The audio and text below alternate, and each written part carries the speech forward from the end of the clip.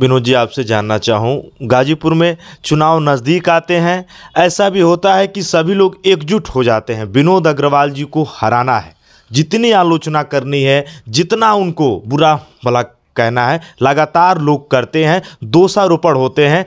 लेकिन आपने कभी भी किसी को कुछ नहीं कहा और ना कहते हुए भी बहुत कुछ कह देते हैं। इसमें हमारा कोई कमेंट नहीं है। हमारा मानना है कि हम किसी पार्टी से चुनाव लड़ते ज़रूर हैं और चुनाव जीतने के बाद हम केवल एक पार्टी के नहीं रह जाते हम जो लोग वोट दिए, जो वोट नहीं दिए, हम सबके प्रतिनिधि और उस नाते, उस ढंग से काम करना, ये जनप्रतिनिधि का कर्तव्य होता है, दायित्व तो होता है। और उसको हमने पूरी ईमानदारी और निष्ठा के साथ निभाया, जिसका प्रत्यक्ष उदाहरण है। इस कार्यकाल में 25 वार्ड में भारतीय जनता पार्टी के सिंबल पर केवल नौ सभासद चुनाव जीत के आए थे। शेष सोलह सभासद, कोई सपा का था, कोई बसपा का था, कोई कांग्रेस का था, कोई निर्दल था। विभिन्न दलों से जीत के, निर्दल जीत के आए थे। उसके में भी हमने छः सभासद को अपने पार्टी में शामिल कराया।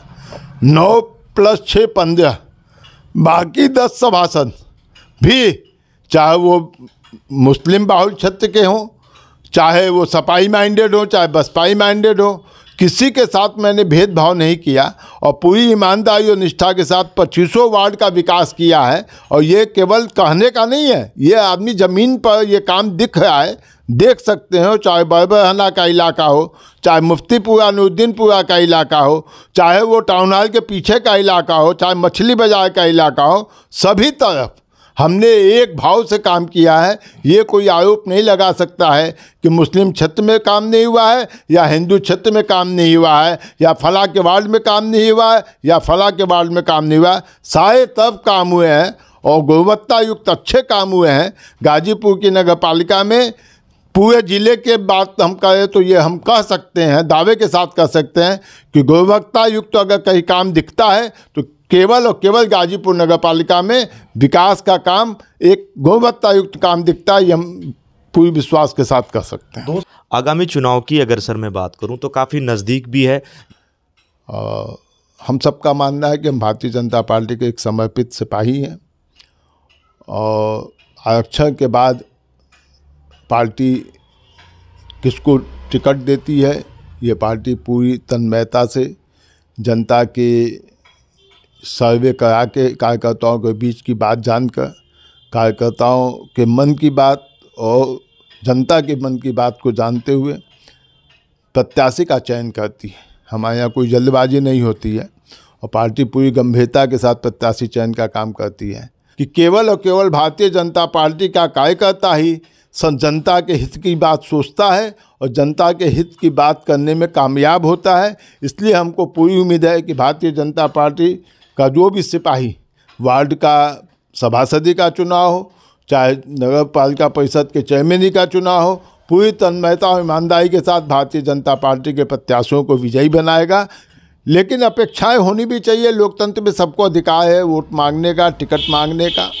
लेकिन टिकट मांगने तक तो अधिकार होता है लड़ाई लड़ने का, कि हमको मिल जाए, वो ऐसे हैं, वो वैसे हैं। ये कहा जा सकता है, कहना भी चाहिए। लेकिन जिस समय पार्टी का निर्णय सर्वमान्य हो जाता है कि फला व्यक्ति हमारा अधिकृत प्रत्याशी है, उसी दिन से वो भाव बंद होना चाहिए।